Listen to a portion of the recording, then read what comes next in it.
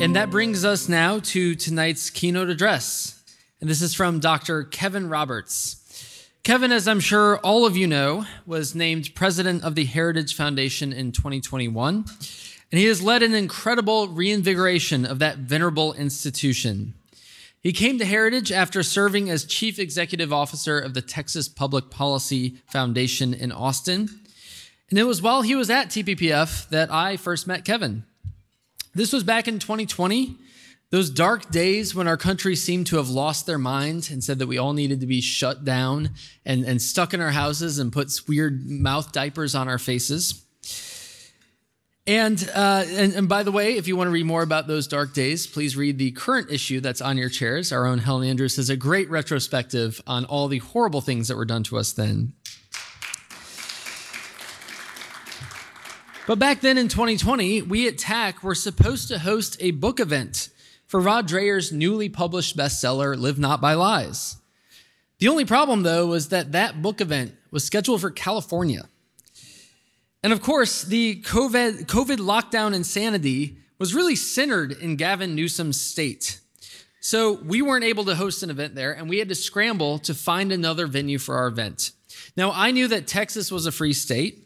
They had a dynamic conservative think tank in Austin, and we had some mutual connections with TPPF. So I approached Kevin about TAC hosting an event at their headquarters.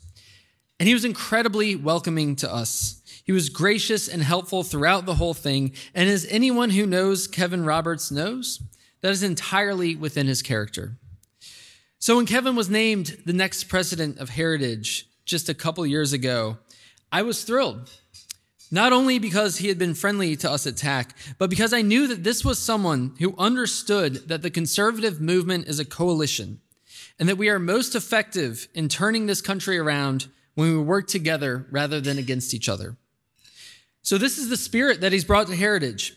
Perhaps most notably in the ambitious Project 2025 presidential project, that's something that we at TAC are proud to be a part of, that seeks to unite and leverage the resources and knowledge of the conservative movement to serve the next conservative president. Kevin has been incredibly kind to our magazine. He has frequently published op eds in our pages.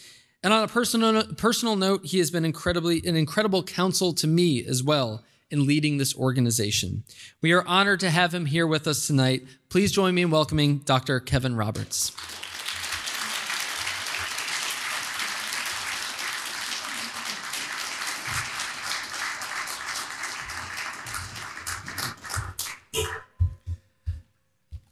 Thanks, Emile, and thank you all for having me.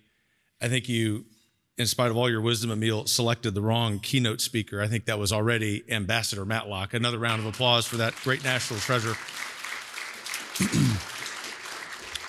all of us here, sir, will remember those remarks for the rest of our lives. Thank you and your staff for your heroism. God bless you.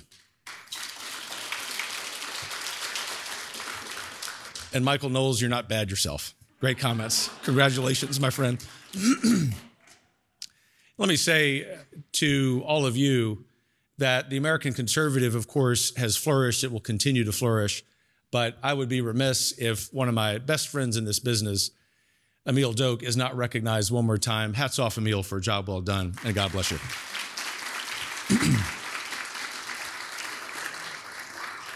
and and I'll, I'll get to it, but one last group of people, considering what the ambassador said and, and what Michael covered and what I'm about to talk about, which ultimately is in the spirit of what I call a fraternal correction to friends in the movement.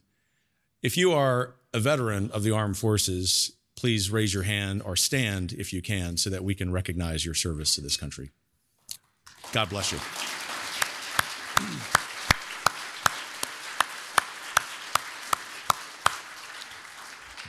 Thank you. It is a pleasure to be here. And to be honest, it is a little intimidating if I think about those of you who are here following wonderful remarks by the ambassador and by Michael. You see, up here, as opposed to being at individual tables or in certain corners of the reception, I get to see the whole rodeo. And you're an impressive lot. And those of you who are at the beginning of your careers are impressive. Basically, as I scan the audience, I'm looking at a neocon's worst nightmare.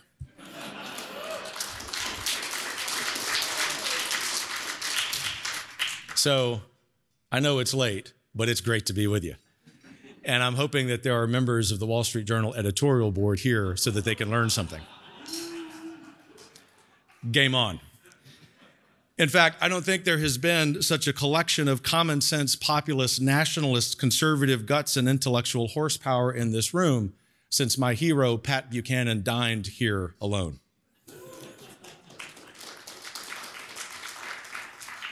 It is an honor, in turn, to honor the men and women who have made the American Conservative the indispensable journal to the conservative movement.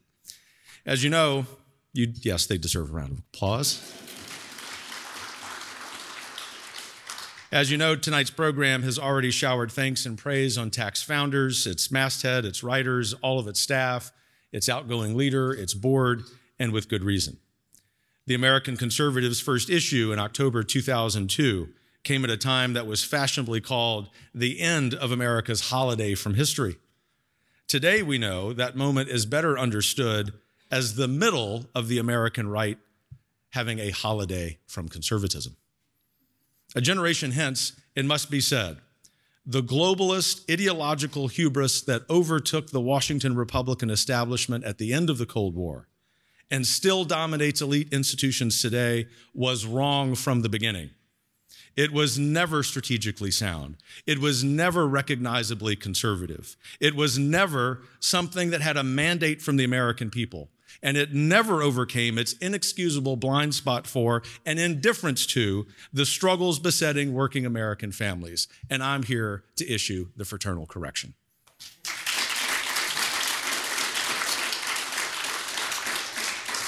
It must also be said, including with some humility by me, as a recovering neocon and now president of the Heritage Foundation, that for the last 20 years there has been one major institution on the right consistently driving us back to our conservative roots the American conservative.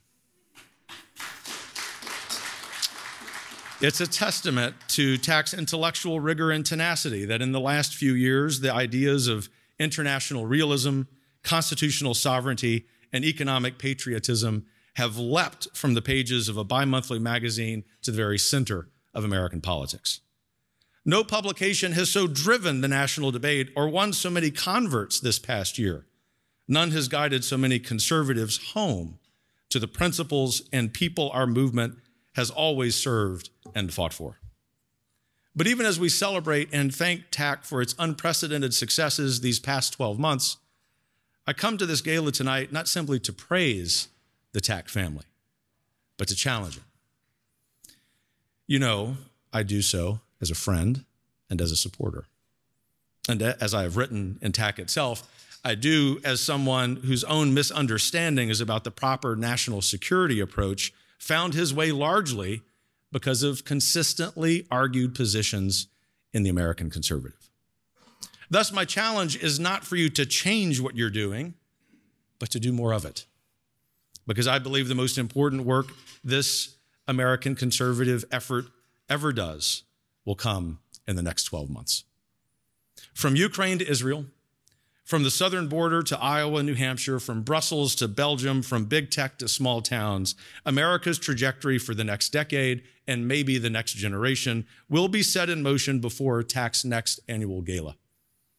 The same issues that for 30 years have tempted the United States to abandon its founding values and vital interests will reemerge with greater force than ever before. The same voices of globalism, elitism, and materialism that squandered our victory, sorry, Ambassador, in the Cold War and severed the sacred bonds of trust between Americans and their government will again try to smear, marginalize, and demonize dissent, especially from the right. In these coming fights, it will not matter that the American conservative was, as its tagline says, right from the beginning. What will matter is whether TAC's writers, editors, and contributors are ready to help lead the post neoconservative, post globalist, post corporatist, post libertarian American right that TAC helped create. That the conservative movement has taken the long way home to ideas this magazine has espoused all along is a vindication, to be sure. But it is precisely in moments of vindication that we are most vulnerable to the pride and complacency that threaten everything that went into bringing out those moments in the first place. We know this first as students of human nature, but we know this too as observers of our own movement over the last 30 years. Those same temptations will soon confront the populist nationalist right as it finally takes its hard won place at the head of the conservative movement at this uniquely dangerous moment in history. Success, then, requires the men and women in this room to see this moment not as victory or vindication, but as an opportunity. The opportunity that generations of conservatives have fought for so long. It is an opportunity that may never well come again and which we cannot afford to miss, like our generation of leaders did, plunging us into three decades of decadence, debt, and defeat, in spite of the sacrifices and heroism of all of our men and women in the armed forces.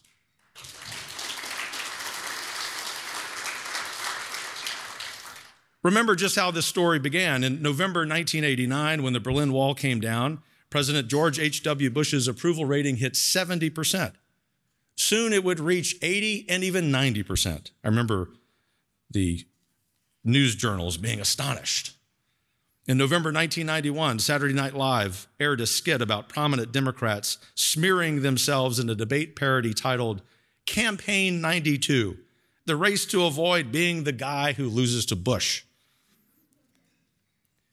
Yet, a little over two months later, a syndicated newspaper columnist named Patrick Buchanan won 37% of the vote against the president in New Hampshire's Republican presidential primary.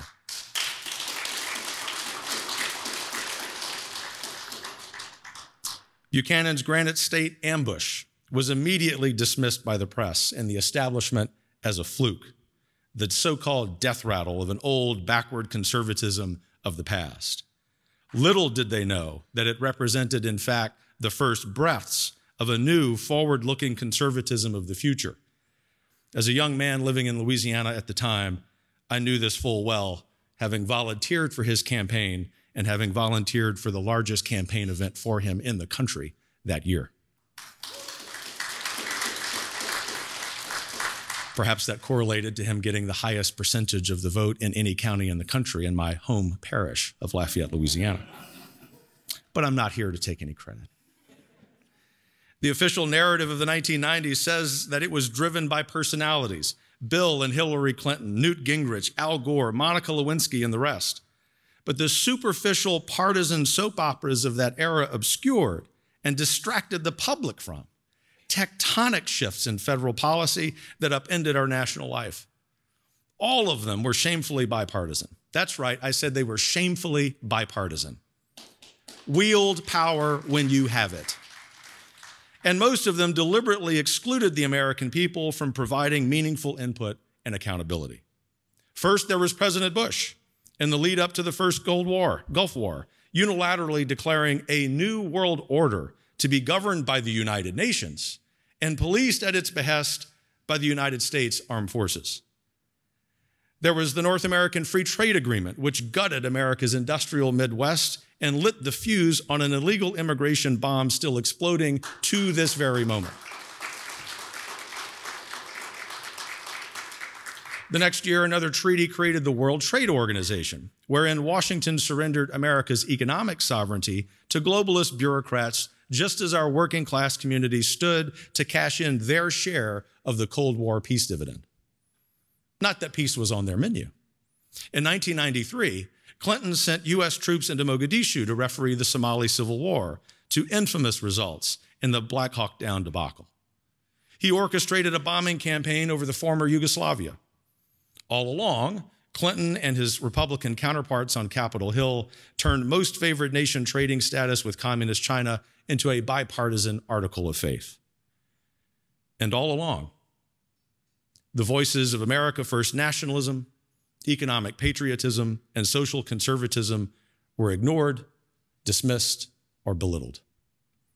The same Washington establishment that celebrated serial predators in the Oval Office and the United States Senate condemned America First conservatives as being beyond the pale. And all of this was before George W. Bush and his team of neocon mediocrities and their dog eared copies of the Weekly Standard as they strutted America into the successive catastrophes of Iraq, the financial crisis, No Child Left Behind, the Great Recession, and then the presidency of Barack Obama. Less than a generation since middle American hard hats and homemakers delivered the West's greatest international victory since World War II. America's economy, democracy, culture, prestige, and confidence lay in ruins. Just as Buchanan conservatives had warned all along.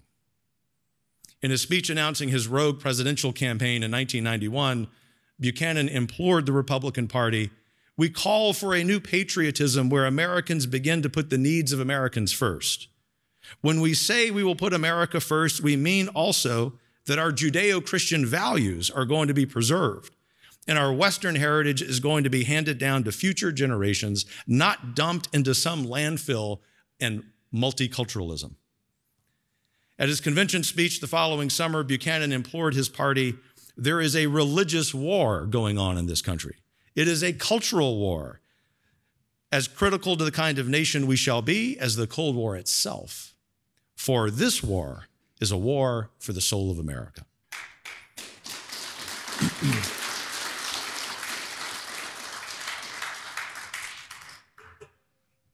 he and conservatives around the country warned of the raw sewage of pornography before the internet.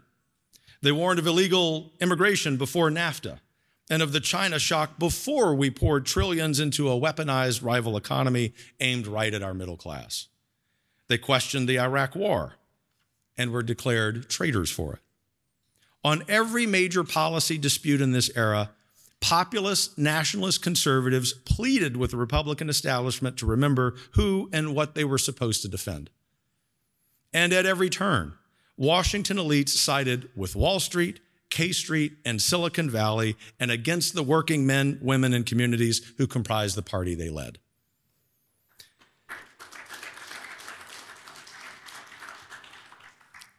This ends on a happy note. But I'm not done.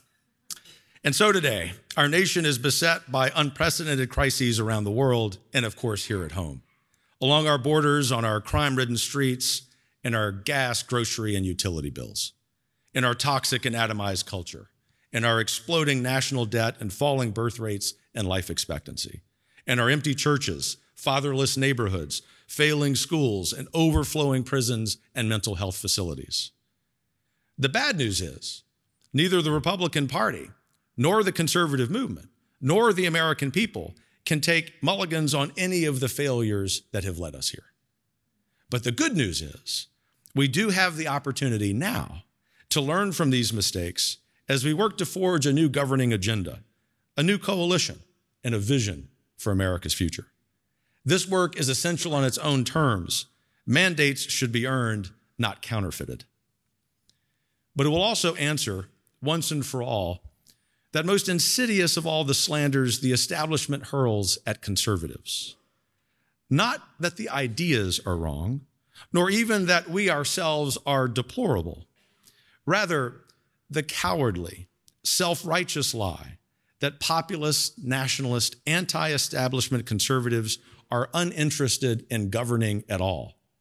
That we don't have an agenda, just a grievance. That we are a nihilist peanut gallery, content to criticize the swamp's yes men in the arena from the safety of our backbench caucuses, think tanks, and magazines, one magazine in particular.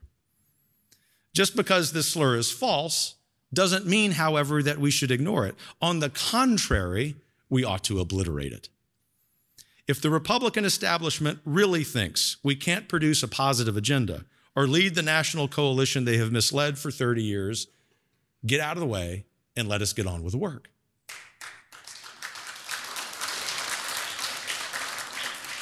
Conservatives, now armed with our dog eared copies of the American Conservative, stand ready to meet them anytime, any place, on any issue they please. And is it no coincidence that merely asking questions, merely asking questions, causes the establishment to go into a tizzy? Just ask another American treasure here tonight, my great friend Bridge Colby. Round of applause for that great American.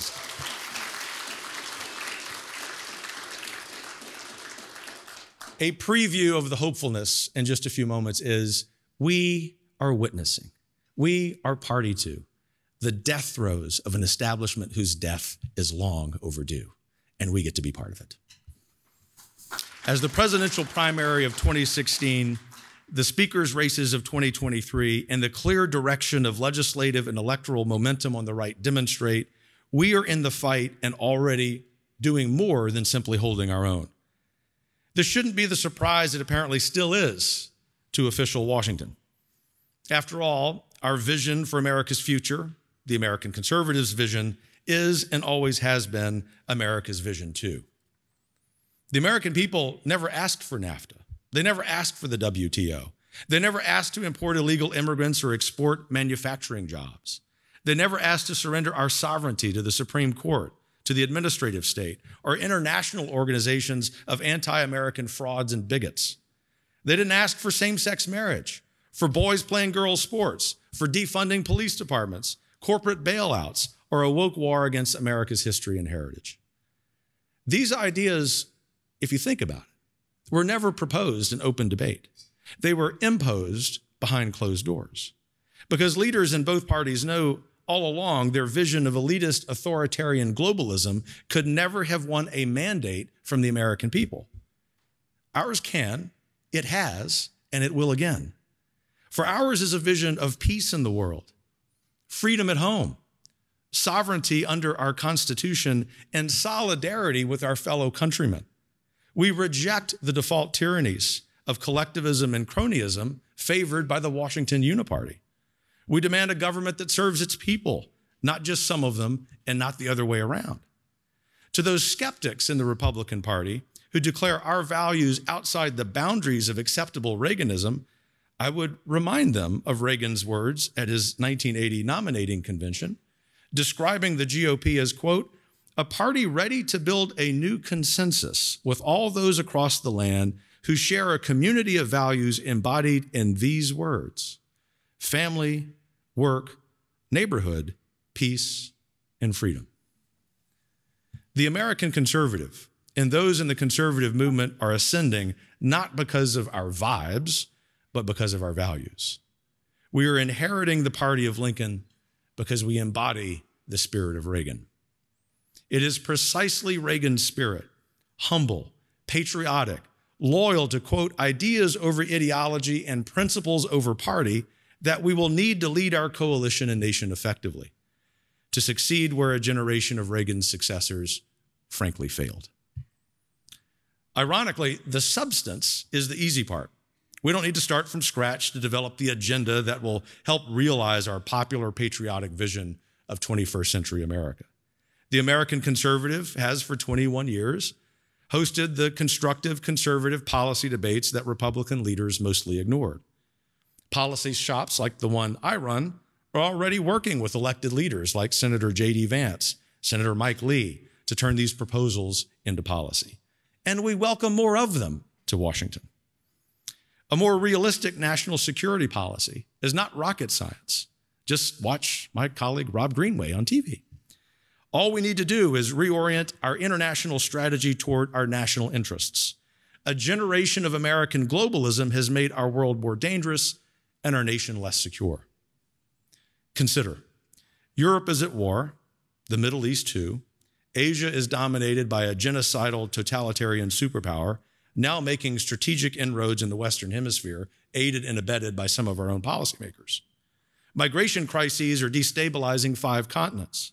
Yet the institutions that were supposed to manage our new world order spend most of their time and budgets shrieking hatred at Viktor Orban, at Brexit, and of course now our Jewish brothers and sisters. Spare us, please, any more establishment platitudes about norms or about a rules based order, whatever the hell that is. And definitely any more UN or my favorite, EU resolutions.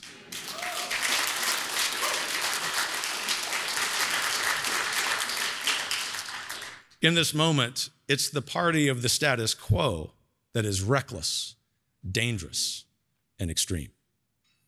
And yet, true to form, This crowd, who in 2003 read Iraq skeptics out of polite society, are now trying to do the same to anyone who asks what America's strategy in Ukraine might be. In lieu of presenting such a plan, President Biden and Leader McConnell want to tie U.S. aid to Israel to yet another blank check to Kiev. But I have good news on this front of national security realism.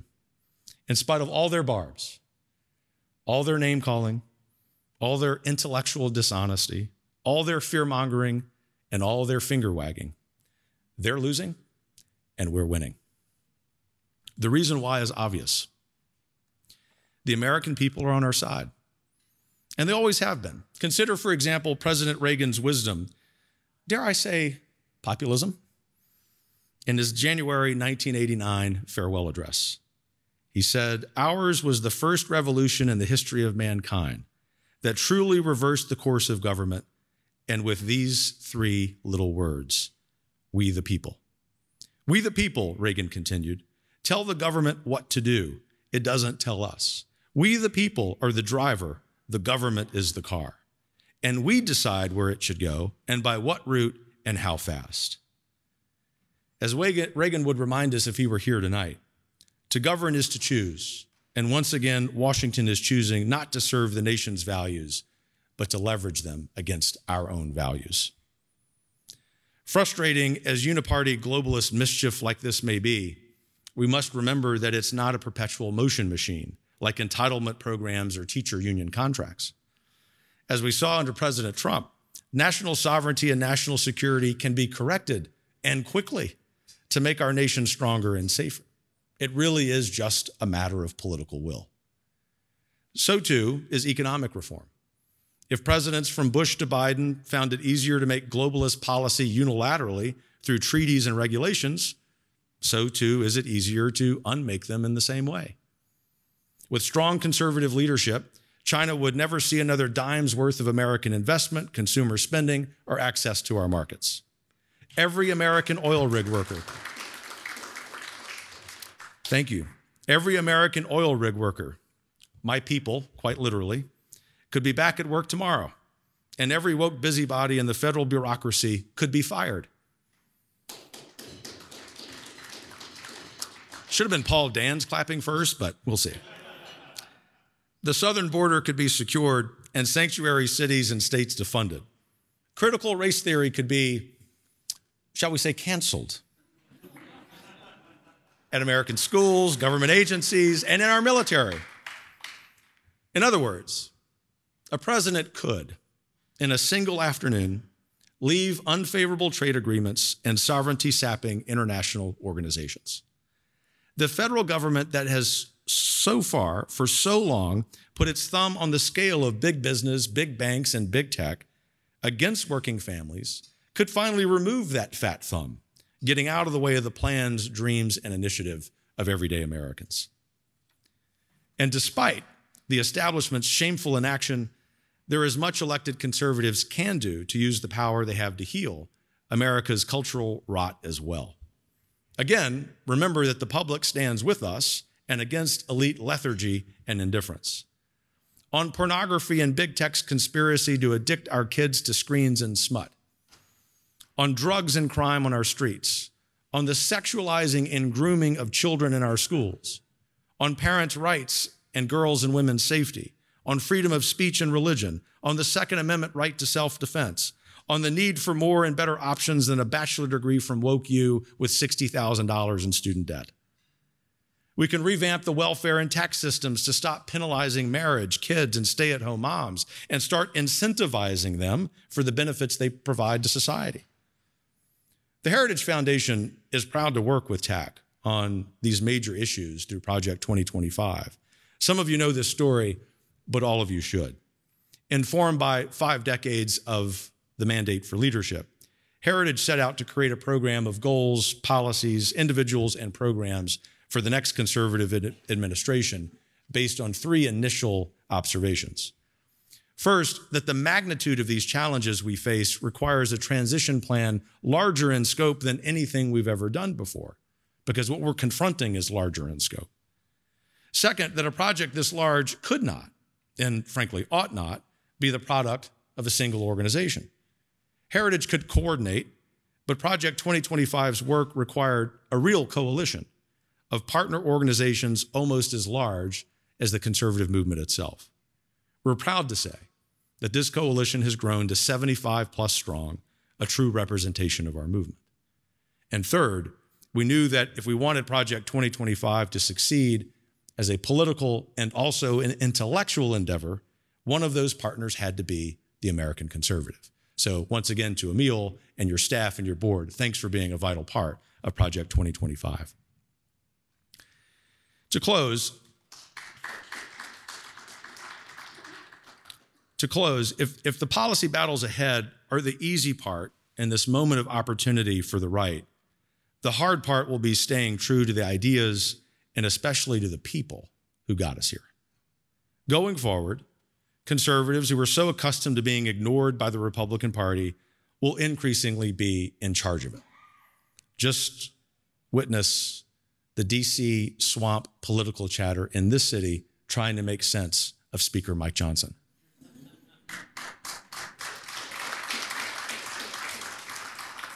It's a glorious time in the nation's capital. With that success will come temptation, however, complacency, entitlement, and hubris. That is the story of the last generation, how our own leaders sold out our republic's Cold War triumph for a mess of globalist pottage. But it's not the end of the story. And in the long arc of history, it may end up being only a footnote. Every day, more conservatives are turning their back on the leaders who betrayed them and returning to the fold, joining this fight against the Marxist left and the globalist elite. You see, the right is not lost. It never was. It's just taken the long way home. The long way home is how Pat Buchanan described his own endorsement of George H.W. Bush at the 1992 Republican Convention in Houston. His speech, which I cheered on from the convention floor as a college freshman, wearing um, a less than legal convention credential. I think statute of limitations have gone, but hell, that doesn't matter apparently anymore. In that speech, the comments, the substance were mischaracterized as declaring a culture war in America, which everyone in America then as now knew he was only describing as a war well underway, started by someone else. A war of choice, in fact, launched by the left and the GOP elite against the working families their New World Order would leave behind. The decades that followed saw Republicans win control of Congress and dominate it since. They won the White House twice, and even finally secured a conservative majority on the Supreme Court. But look at our nation and at our world. Winning elections simply isn't enough. Neither is simply being right. There are no referees handing out awards to conservatives when we win Twitter debates against woke fanatics or Republican insiders. It's fun, but there are no awards. The great task remaining before us remains to bind up our nation's wounds, to rescue her sovereignty, our Constitution, and the rule of law, to restore her social solidarity and economic opportunity, to secure our borders from an illegal invasion and our culture from woke theocrats and globalist usurpation.